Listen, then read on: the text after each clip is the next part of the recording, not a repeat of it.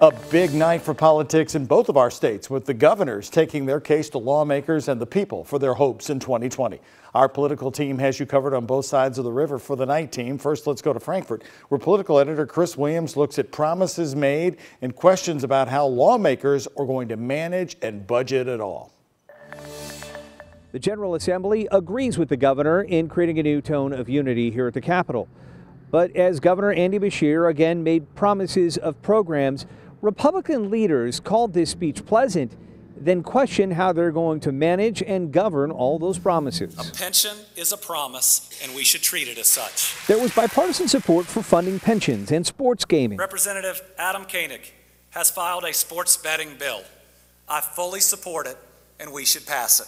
That bill gets a hearing on Wednesday morning, and while the tone was applauded across party lines, Governor Beshear's hopes for keeping promises that he'll present in his budget were not well received by everyone in the Capitol. My commitment will continue with including a $2,000 across the board raise for our Kentucky teachers in my budget that we submit to you. We can and we must afford it.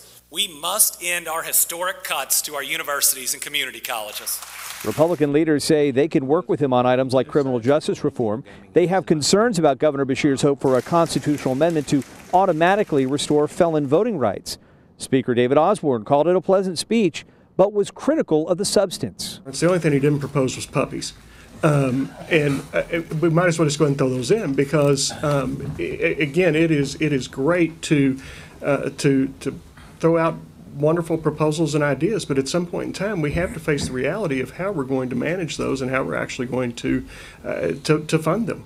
There was a mention of expanded casino gaming, which stands no chance at passing this session. There was no mention of marijuana. Medical marijuana may be legalized by lawmakers. While the tone of hope continues, it is clear that the heavy lifting of this session is about to start, and it will test whether this tone can stand up to the load.